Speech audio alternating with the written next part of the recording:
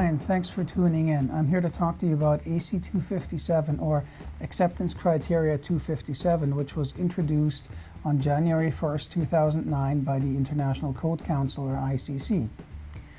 The reason the ICC introduced AC 257 is because of the corrosive tendencies of ACQ and other pressure treated lumbers which are common in the market today.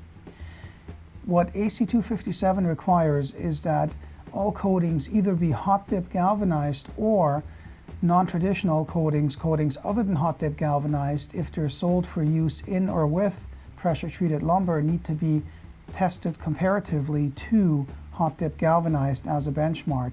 And only if a non-traditional coating outperforms hot dip galvanized can it then be sold for and marketed for use in or with pressure treated lumber. GRK Fasteners Climatek coating is proprietary and has always been the best in the industry. We've had it for years. We had it a long time before the ICC ever introduced AC257 precisely because we knew of the corrosive tendencies of ACQ and other pressure treated lumbers.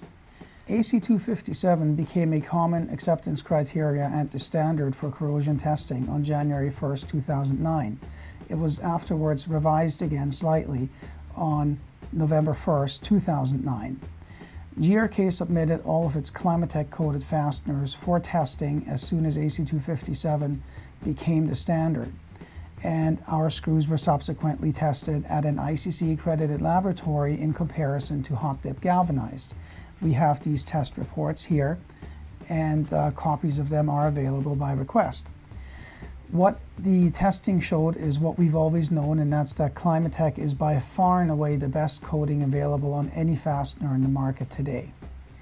Climatek outperformed hot dip to such an extent that after testing was concluded on the fasteners, the hot dip galvanized fasteners that had been submitted had corrosion of 50 to 90 percent, whereas the GRK Climatek coated fasteners had corrosion of 0 to 5%. 0 to 5% versus 50 to 90% for the benchmark. It clearly shows that it doesn't get any better than Climatek. For your next project involving pressure treated lumber, make sure that you only use fasteners which have been approved under AC 257.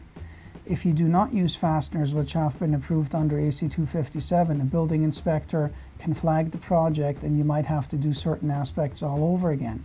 It also may leave you open to uh, legal problems down the road if there are some issues with the construction projects because only AC 257 approved fasteners can be used legally with pressure treated lumbers.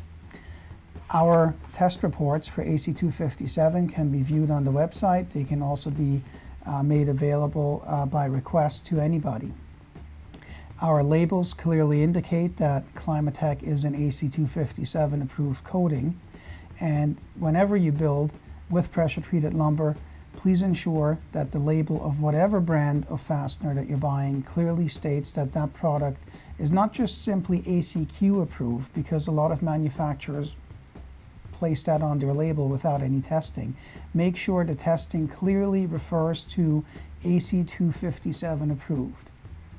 It helps you, it helps the building inspector, and it's the right way to do it. Thanks.